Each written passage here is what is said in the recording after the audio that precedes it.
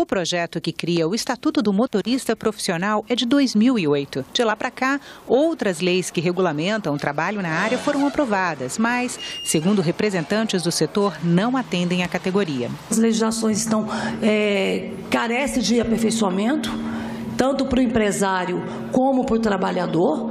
Não é o, não é o que nós é, pretendíamos, mas foi, foi o possível no momento. A melhoria das condições de trabalho é uma das principais reivindicações. Eu é, considero que uma das questões mais importantes que a gente deveria avançar seria realmente com referência às condições de trabalho. O setor de transporte urbano, ele se preocupa com isso. Nós temos de resgatar as condições de trabalho, a carga horária, o excesso de trabalho, isso não pode acontecer. Isso aí que gera diversas situações é, é, de acidente de trabalho, perda de pais, de chefes de família. A aposentadoria especial aos 25 anos de trabalho também foi debatida. Nós precisamos que a nossa categoria seja reconhecida como categoria especial.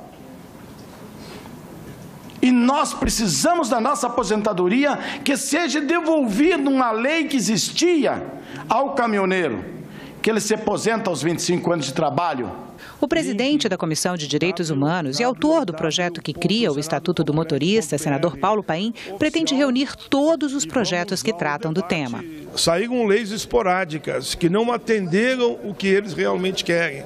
E por isso que nós estamos retomando o Estatuto é, do Motorista na Casa desde 2008 e vamos tentar fazer essa grande concertação que ali esteja garantido a aposentadoria especial que não tiveram no passado e perderam, que ali esteja garantida uma carga horária decente que permita a eles trabalhar sem, não de forma exaustiva nem degradante